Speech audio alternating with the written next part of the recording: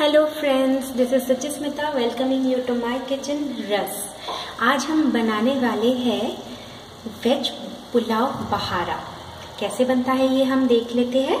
क्या क्या चाहिए हमें इसके लिए? वेज पुलाव बहारा के लिए क्या क्या चाहिए हम देख लेते हैं। बहुत सारे वेजीज चाहिए हमें। हमने क्या क्या लिया है? कैप्सिकम लिया है कैरेट्स लिए हैं छोटे छोटे टुकड़ों में कटे हुए अनियन लिया है कैबेज लिया है पत्ता गोभी हम यहाँ पे ग्रीन पीस बॉईल करके हमने यहाँ पे रखा है। राइस मैंने फुल्ली डन राइस लिया है। देखिए, एकदम फ्लफी एक के साथ एक लग नहीं रहा है। ऐसे टाइप के हमने राइस लिए हैं। यहाँ पे खड़े मसाले लिए हैं हमने। सूखी लाल मिर्च तेज पत्ता यहाँ पे जीरा लिया है। ब्लैक पेपर ले लिया है। यहाँ पे हमने दालचीनी लिया है, स्टार फूल लिया है, जावित्री लिया है, और हमने लिया है black cardamom, green cardamom, green इलायची और ब्लैक इलायची ले लिया है। और यहाँ पे जो हमारा बहारा बनाने का सीक्रेट इंग्रेडिएंट है, ये है रोज़ वाटर और केवड़ा वाटर आपको ये कोई भी शॉप में मिल जाएगा। ग्रॉसरी शॉप में। ये आप लाके छोटा सा रख सकते हैं।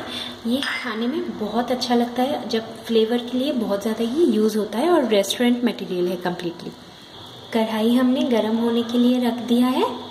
तेल डाल देते हैं हम इसमें। आप इसमें घी भी डाल सकते हैं, जैसे आपको पसंद हो। आप ऐसे डालिए। मैं थोड़ा सा यहाँ पे घी भी डाल देती हूँ। दो से तीन टेबल स्पून घी भी डाल दिया। टीस्पून घी भी डाल दिया मैंने। आप टेबल स्पून भी यूज़ कर सकते हैं, अगर आपको घी देके पुलाव पसंद है तो। ये गरम होने के लिए रख देते हैं थोड़ा सा बहुत ज़्यादा गरम नहीं करना है तो घी जलने का चांस रहता है और उसका स्मेल खराब आता है। तो हमें बहुत ज़्यादा इसको नहीं करना है। थोड़ा सा गर्म हो जाए तो हम इसमें डाल देंगे शाही जीरा। आपके पास अगर शाही जीरा ना हो तो आप नॉर्मल जीरा भी यूज़ कर सकते हैं। शाही जीरा देने से इसका जो फ्लेवर है, वो बहुत फ्रेगनेंस जो है, वो बहुत अच्छा आ जा, आने लगता है। हमने इलायची ग्रीन इलायची और ब्लैक इलायची डाल दिया है स्टार फूल डाल दिया है, दालचीनी, जावित्री ब्लैक पेपर काली मिरी तेज पत्ता डाल देते हैं। और इसमें हम सूखी मिर्ची जो हमने ली थी, वो डाल देते हैं। इसको थोड़ा हैं जैसे कि तेल में ये सारे खड़े मसाले जो है, इसका फ्लेवर आ जाएगा। तो जो हमारा राइस है, वो बहुत फ्लेवर्ड वाला राइस बनेगा।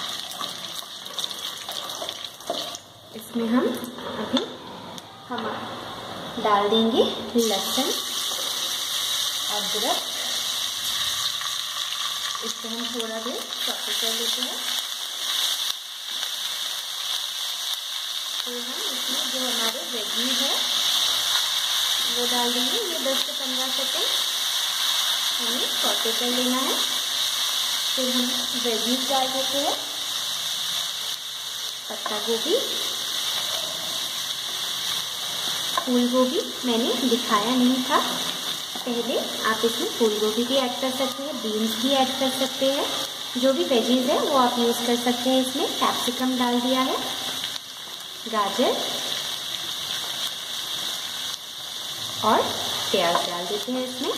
अलग अलग इनको पकाने की ज़रूरत नहीं है।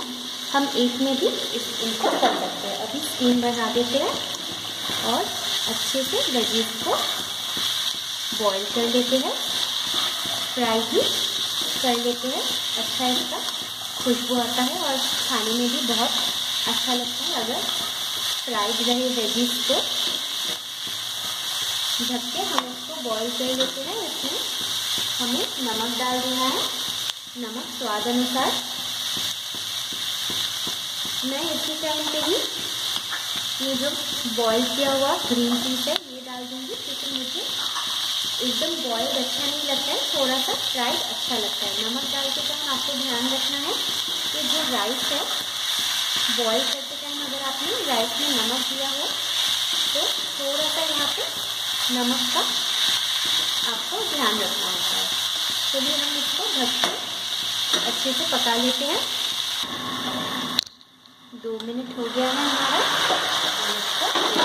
थोड़ा सा थोड़ा देर और इसको पकाने की ज़रूरत है, क्योंकि हमारे बहुत सारे बजने हैं। इसमें हम अभी हल्दी डाल देते हैं। हल्दी डाल दिया हमने इसमें। और इसको अच्छा कलर आ जाता है हल्दी डालने के बाद। लेते हैं। फिर इसको ढक के रख देंगे। और दो मिनट दो मिनट हो गया है। इसको हम अभी बॉयल तो हो गया है। थोड़ा सा अभी हम इसको फ्राई कर लेते हैं। थोड़ा सा रेड रेड कर लेते हैं इसको। तो हम स्टीम को पूरा बढ़ा दिया है। और इसको थोड़ा देर होने देते हैं। और दो मिनट अच्छे से इसको मिलाते रहेंगे मिक्स करते रहेंगे। तो ये हो जाएगा रेड रेड हो जाएगा थोड़ा सा फ्राइड लुक आ जाएगा इसमें। फिर हम इसमें राइस ऐड कर लेंगे। ये हमारा अच्छा फ्राई हो गया है। अभी हम इसमें राइस को मिला सकते हैं। चलिए, मिला लेते हैं राइस को इसमें। राइस को ऐड कर लेते हैं।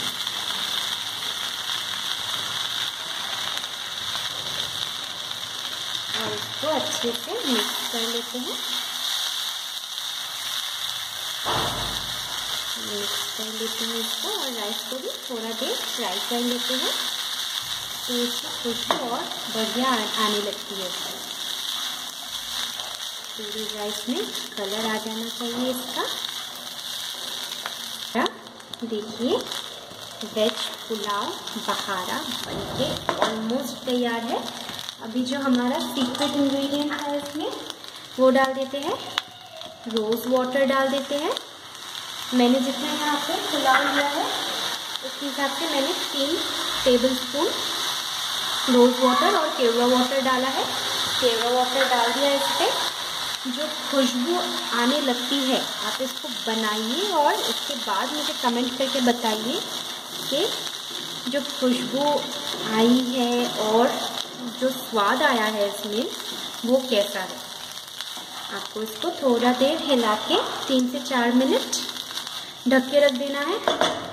और कोशिश कीजिए, जब आप सर्व कर रहे हो, तभी उसका ढक्कन खोलें। बार बार इसको ना खोलें, क्योंकि जो आपने रोज़ वाटर और केवड़ा वाटर दिया है, उसका जो खुशबू है, बाकी लोग नहीं खाएँगे, दूसरा कुछ सिर्फ़ पुलाव ही चाटते रह जाएँगे। चलिए हम इसको सर्व कर लेते हैं अभी।